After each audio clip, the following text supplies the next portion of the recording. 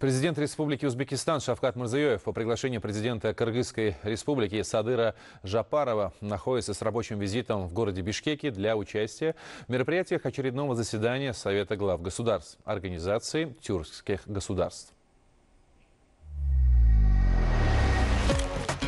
Организация тюркских государств.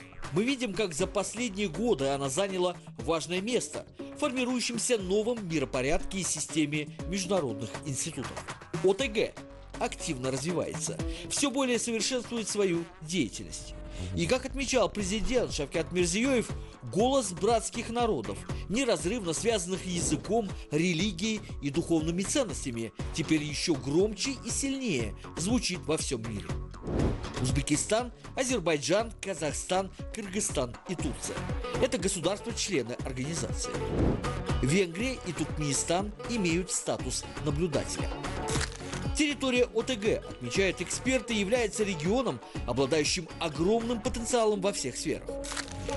С 2019 после ратификации Нахичеванского соглашения Узбекистан полноправный ее член. Более того, инициатор множества прорывных инициатив, благодаря которым структура вышла на совершенно новый этап развития. Увеличиваются объемы товарооборота, усиливается кооперация. Эффективно реализуются крупные совместные проекты в сферах промышленности, транспорта, энергетики, водного и сельского хозяйства. Активизировались культурно-гуманитарные обмены. Thank you. Наша страна установила отношения стратегического партнерства со всеми членами организации. Последовательно реализуются документы, подписанные на полях исторического Самаркандского саммита, прошедшего в 2022 году под девизом «Новая эра тюркской цивилизации на пути к общему прогрессу и процветанию». В период председательства Узбекистана, напомним, было проведено более 100 мероприятий, направленных на укрепление сотрудничества между тюркскими странами.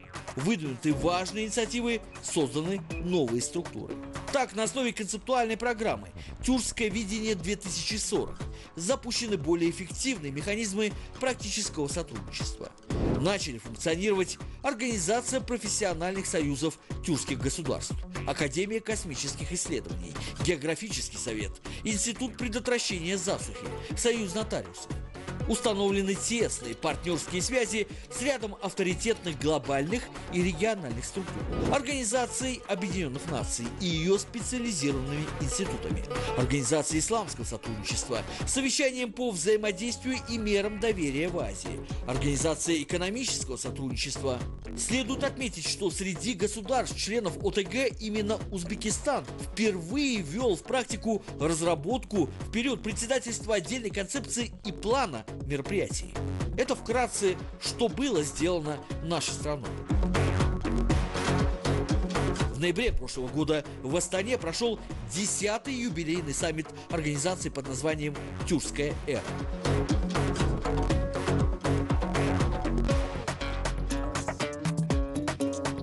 Глава государства вновь выдвинул целый ряд актуальных инициатив.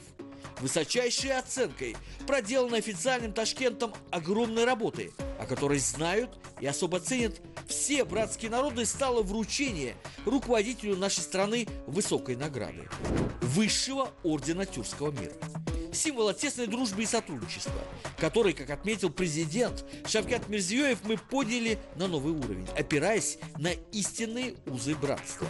Важные инициативы озвучил лидер нашей страны и на полях состоявшегося в июле этого года неформального саммита ОТГ в азербайджанской Шуше на тему построения устойчивого будущего посредством транспортной взаимосвязанности и борьбы с изменением климата. О многом говорит тот факт, что с момента вступления в ОТГ на саммитах организации, прошедших с 2019 по 2024 годы, президентом Узбекистана выдвинуто 68 конкретных инициатив, направленных на дальнейшее развитие многопланового сотрудничества в рамках организации. К текущему времени 43 инициативы уже реализованы и 6 находятся на завершающей стадии. Из инициатив, находящихся на исполнении, 19 было озвучено в ходе саммитов в Самарканде, Анкаре, Астане и Шуше. За годы участия Узбекистана в организации проведены десятки крупных мероприятий в сферах туризма, сельского хозяйства, молодежной политики, культурного и просветительского наследия IT, железнодорожного транспорта, безопасности, образования, здравоохранения, таможни, науки и инноваций. В 2022 году город Кокант объявлен туристической столицей Тюркского мира, а Бухара – первой молодежной столицей Тюркского мира.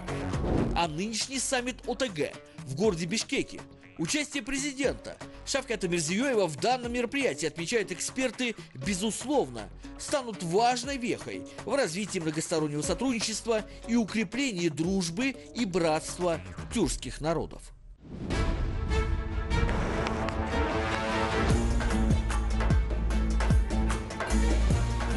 Сегодня президент Республики Узбекистан Шавкат Мирзиёев прибыл в Кыргызстан с рабочим визитом. В аэропорту города Бишкека главу нашего государства встретил председатель Кабинета министров Кыргызстана Акылбек Джапаров и другие официальные лица.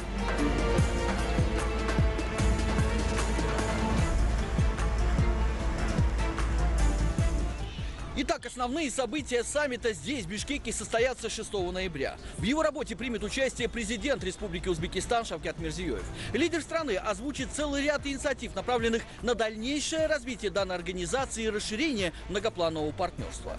Главы государств обсудят актуальные вопросы дальнейшего углубления культурно-гуманитарного и торгово-экономического взаимодействия. Другие актуальные вопросы будет подписан солидный пакет документов. Мы будем детально информировать вас об этом. Сергей Сергей Алибаев, Рустам Шарахимов специально для телеканала «Узбекистан-24» из Бишкека.